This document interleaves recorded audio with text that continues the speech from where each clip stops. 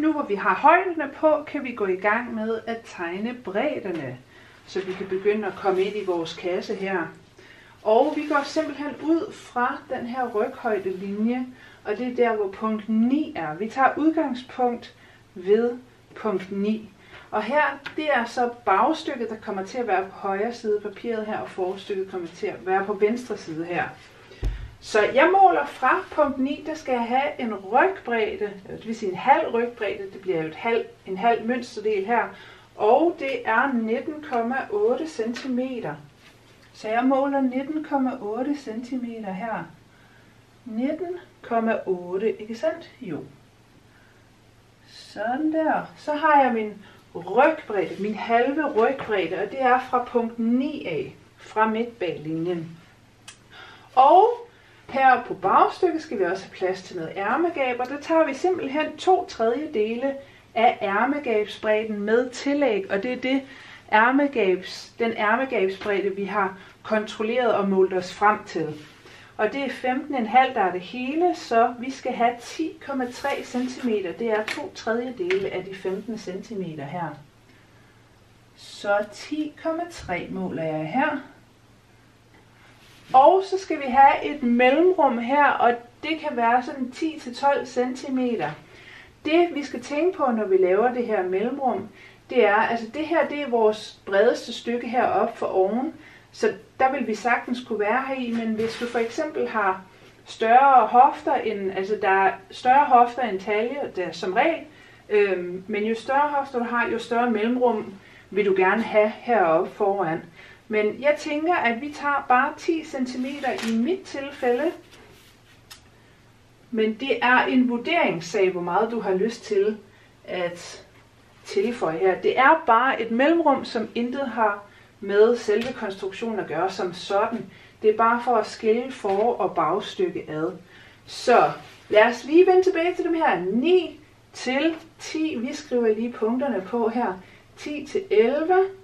Og så har vi 11 A herover. Det er bare et, et mellemrum her, som vi har lavet. Så jeg skriver lige 11A her. Så skal vi have resten af ærmegabet på forstykket. Og det er 5,2 cm her så er vi i alt oppe på de 15,5, som ærmegabsbredden var. Og så skal vi have brystbredden, det vil sige den halve brystbredde her. Nu håber jeg, at der er plads, ellers må vi tage noget papir, og det er 25,8. Vi skal lige have lidt ekstra papir på, og så tegner vi de 25,8 cm. Jeg fik lige sat noget ekstra papir på, og vi kan tegne videre her.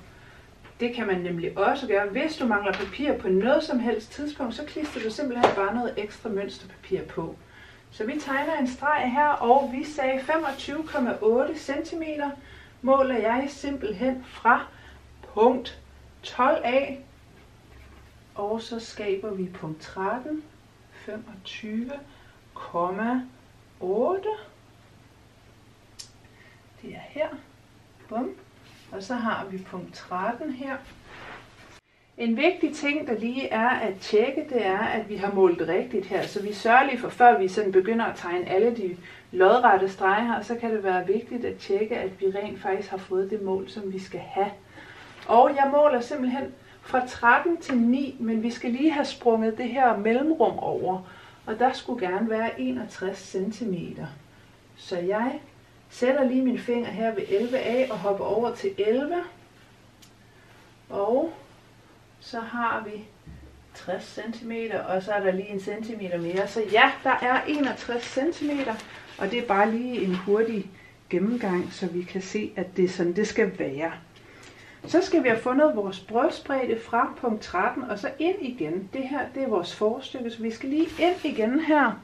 Og der skal vi have fundet vores brystbredde, og det er en tiende del brystvide plus 0,5 cm. Og i det her tilfælde er det 12,3 cm. Og igen, jeg pointerer lige, at du skal gå ud fra dine egne mål her. 12,3. Sådan, og det er punkt 14. Så kan vi tegne vores lodrette linjer, og vi starter bare fra højre af her. Ved punkt 10, der sætter jeg min lineal vinkelret op og laver simpelthen en kasse her for oven. Så fra punkt 10 og vinkelret op, rammer jeg den linje, der er heroppe. Og fra punkt 11 og 11a, der tegner vi ned efter. Igen vinkelret på den her linje. Og der tegner jeg ned til hoftelinjen, og det er den linje, som går ud fra punkt 4 og 7 hernede. Uh, den her linje. Så fra 11 og vinkel ret ned her.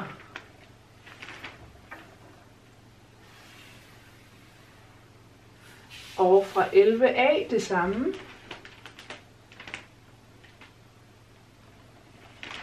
Det er så de to linjer, der kommer til at udgøre udgangspunktet til vores sidesøm her. Sådan.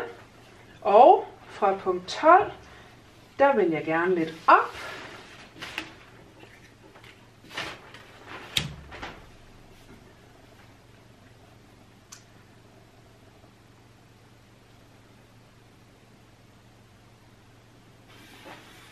Igen vinkelret på linjen her. Og ved punkt 14, der vil jeg også gerne op og ned. Jeg starter lige med at tegne op her.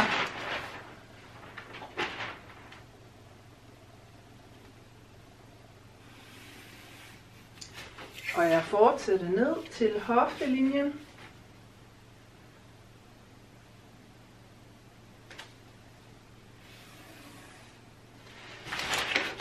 Og så har vi de her linjer, som går øh, på vandret her. Dem tegner vi bare længere efter behov her. Vi tegner bare lige ud her. Og den hoftelinjen også.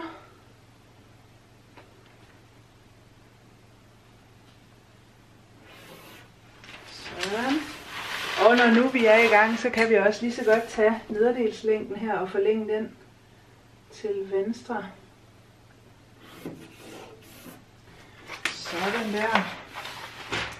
Og så har vi fra punkt 13, der vil jeg også gerne op og hele vejen ned. Det kommer til at udgøre vores midt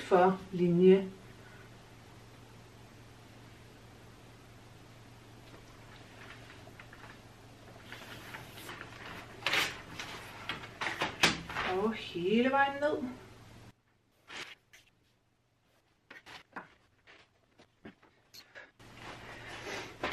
Vi kan her ved punkt 12 også fortsætte ned til hoftelinjen her.